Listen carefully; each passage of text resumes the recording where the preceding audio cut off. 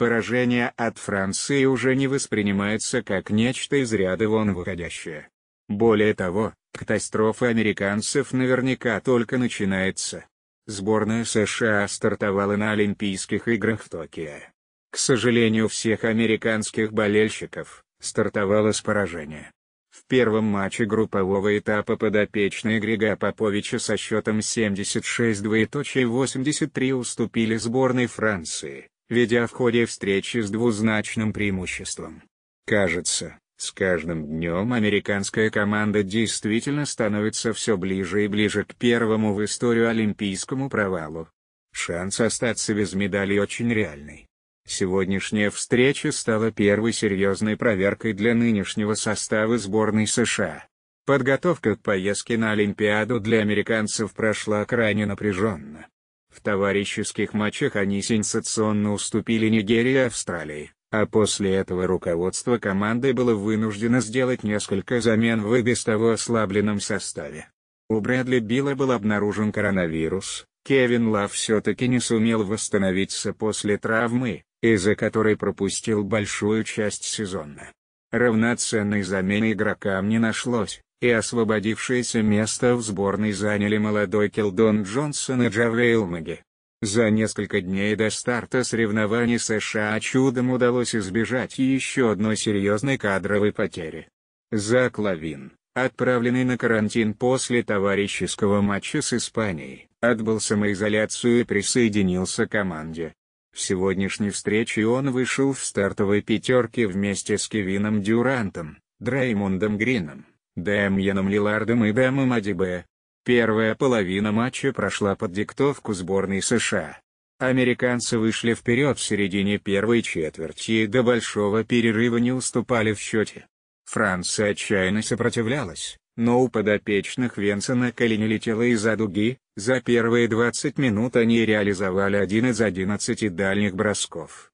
За минуту до конца второго отрезка американцы увеличили отрыв до 10 очков. Но спустя 30 секунд Руди Габер оформил данк после подбора в нападении, 37 двоеточие 45. Однако в третьей четверти ситуация перевернулась с ног на голову. От двузначного преимущества американцев не осталось и следа, за весь отрезок они набрали всего 11 очков, против 25 очков соперника. К заключительной десятиминутке сборная Франции подошла с преимуществом в 6 очков. Американской команде удалось отбиться, но за 4 минуты до конца встречи с ней начало твориться что-то страшное. Две потери и неспортивный фол Лиларда, череда персональных фолов, ни одного реализованного броска с игры. Как итог, пропущенный рывок 2-16 и поражение в первом матче на Олимпийских играх. Самым результативным игроком встречи стал французский атакующий защитник Бастон Селтикс Севен Фурния. Он записал на свой счет 28 очков, 4 подбора 1 ассист.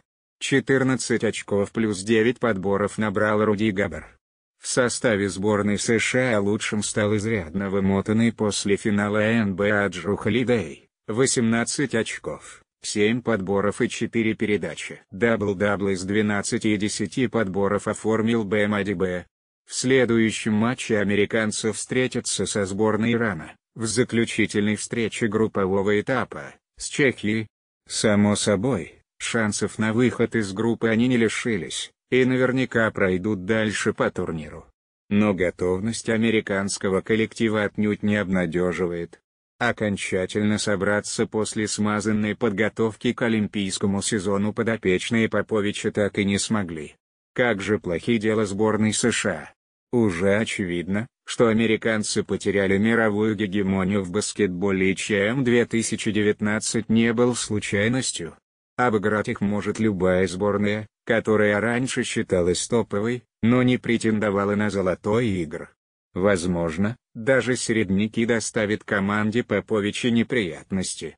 Поражение от Франции уже не воспринимается как нечто из ряда вон выходящее, хотя это первый проигрыш Штатов на играх за 17 лет, Софин в 2004 году. Более того, катастрофа Штатов наверняка только начинается. Команда выглядит совершенно не готовой к международному турниру. Кевин Дюрант и Дэмьян Лилард, будучи номинальными лидерами сборной, пока даже близко не показывают ожидаемый уровень. На кого в этой ситуации надеется сборной США, непонятно. При этом на турнире выступает много достаточно сильных команд, Австралия, Испания и даже Словения во главе с Лукой Дончичем. И пока американцы не производят должного впечатления, соперники могут воспользоваться своим шансом. Как будут решаться существующие в стане Dream Team проблемы в ходе турнира и решатся ли они вообще, покажет время. Но вполне возможно, что в этом году нас будет ждать новый олимпийский чемпион. И первые игры, где у США нет медалей в баскетболе,